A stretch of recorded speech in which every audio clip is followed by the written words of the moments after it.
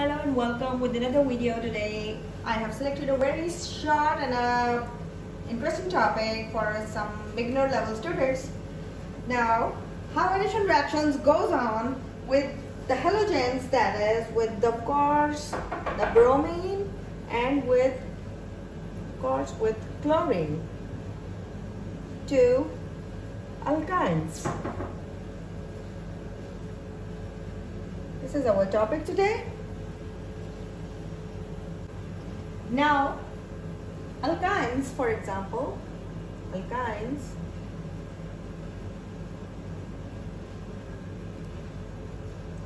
simplest example is acetylene.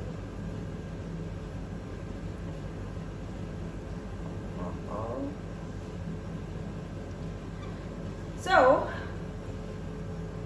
it they present almost similar reactions. They present almost similar similar reactions? Similar reactions referring to what? Referring to or when they are dealing with these halogens like chlorine bromine okay? When they are especially with the halogens like chlorine and bromine. When we are referring to these two only towards what? Of course towards alkynes. Now they goes on with addition reaction. What type of reactions they goes on? They goes on with the addition reactions. Addition.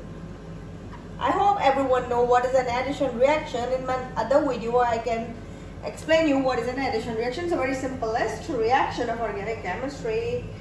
So this addition with alkynes is possible for once or for two times. This addition is only this addition is possible for for one time once or two times. Two times. Or you can say twice once or once or twice as why? Because it depends on the molar equivalence of these chlorine and bromine we will be using. Why it is happening? That why is it so that they can be used for one time or two times? But because uh, this only uh, I mean um, it uh, rely on the molar equivalence. Now what is a molar equivalent? I hope know you people know what is a molar equivalence of chlorine and bromine which we are going to use so now as I was just mentioned you mentioned it to you that this addition with alkynes is possible for once or for two times. And why is it happening? So many question marks because it just depends on the molar equivalence of these two halogens that is chlorine and bromine or the halogens we are using. Right now we are talking about we are referring to chlorine bromine. So uh, chlorine and bromine used uh, so I will give you a, show you an example for that so that would be more easier for you to follow. So now acetylene in the presence of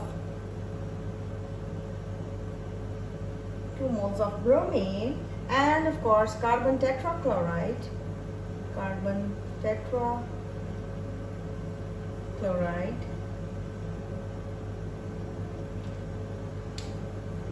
it's gonna give us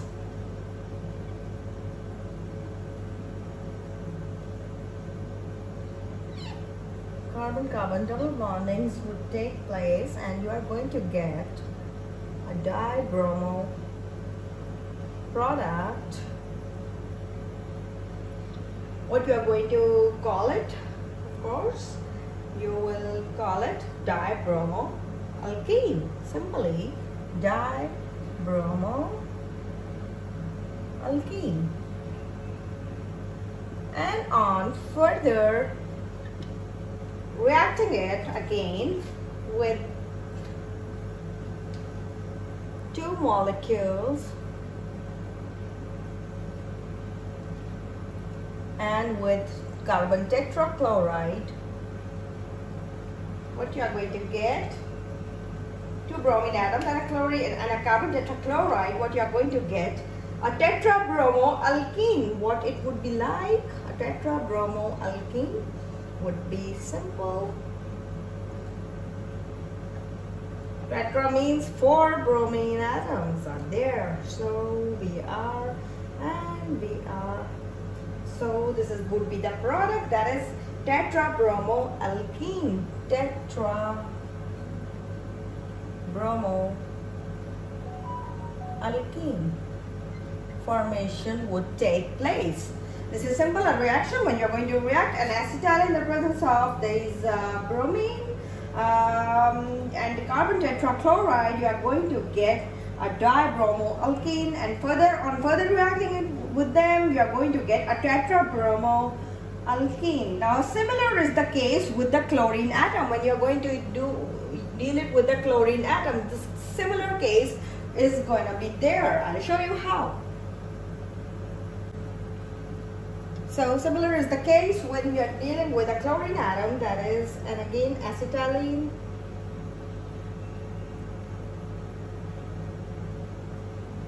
When you're going to react it with chlorine atoms, what you will get, and carbon tetrachloride, carbon tetrachloride,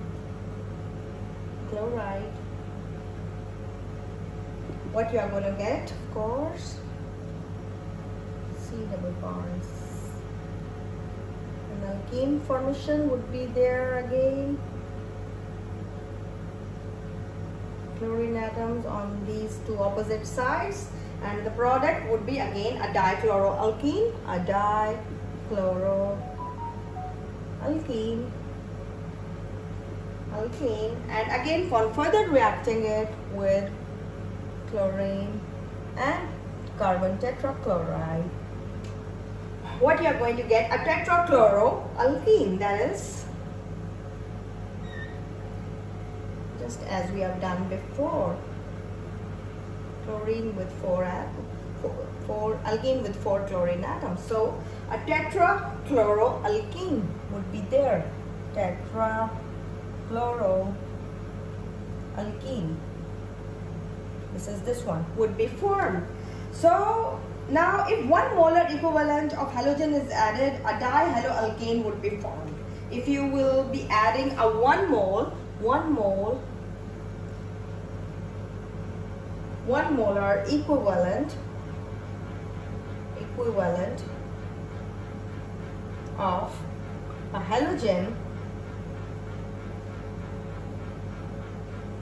is added. What you are going to get? You will get a dihaloalkane that is that you have seen okay. So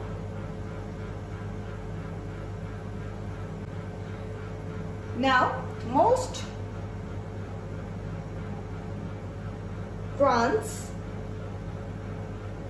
trans means on the opposite sides, atoms that are attached on the uh, opposite sides. Trans di hello alkenes are formed due to what?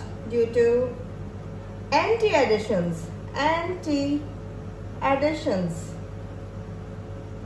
Due to the anti-additions of these chlorine and bromine to alkynes. This is how we can conclude it, right?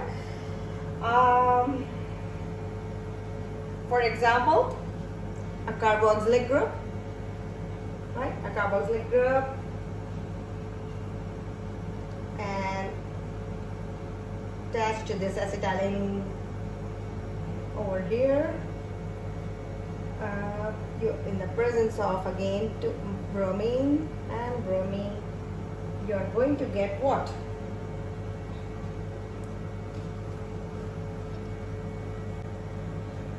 So I just have uh, drawn what this compound is called? Acetylene dicarboxylic acid. You can see the dicarboxylic acid with an acetylene group in the between so what you are going to get in the presence of again a bromine um, dibromine atoms what you are going to get you will simply get carbon with a double bond.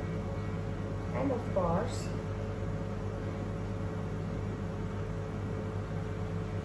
bromine atoms on the opposite sides. And what of course the carboxylic group would be again on the opposite side. So what the yield would be of 70% yield you are going to get when you are going to react it in this way.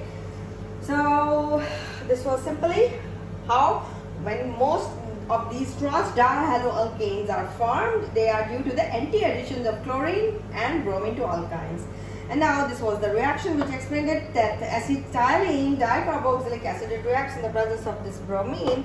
It is going to get you, give you this product which is 70%, uh, which is providing us a 70% yield. So I hope uh, you like this uh, short uh, video of lecture regarding how uh, what will happen when how addition reactions goes on with the bromine and chlorines to alkynes when bromine and uh, chlorines are added to alkynes. So I explained you all these with the help of little examples, simple, very simple reactions. And I hope you will like this video and you will give it a thumbs up and you will like it. So hope to see you again with something new, something more interesting and exciting. So See you again. Thank you very much.